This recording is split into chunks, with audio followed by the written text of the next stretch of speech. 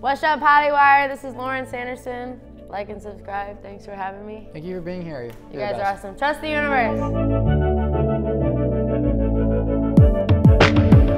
What's up guys, I'm Eduardo with Hollywire. We are sitting here in the studio with Lauren Sanderson. I'm so happy you're here. You're so talented and awesome. Thank you for being Shut here. up, dog. I was going through your Instagram. You have clearly the best style.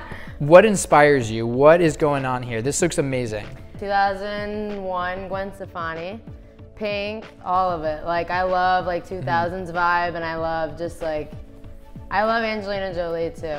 You are very open about your sexuality on your YouTube Yeah, yeah, channel.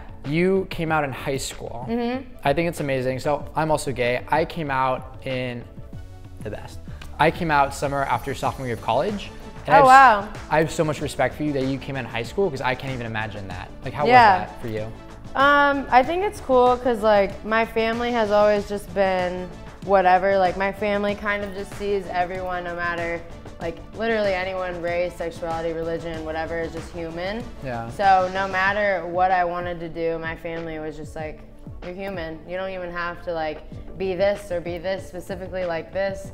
Just like be who you are and and I know for a fact like they're the reason why I had the confidence and strength to do that. How did you start making videos for YouTube?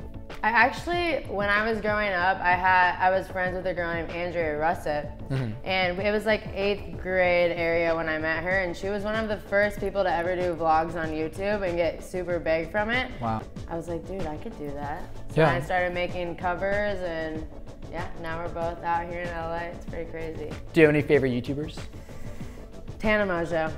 Okay. Hands down. I just met her like a couple weeks ago. Love her. She's super dope. You did a TED Talk. Yeah. That is so cool.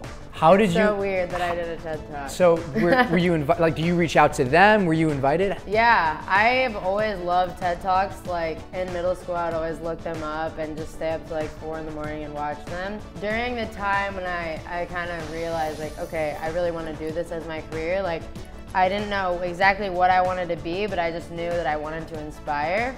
And I was like, what's the number one way that I feel inspired? And it was TED Talks at the time. So I looked up on Google how to do a TED Talk.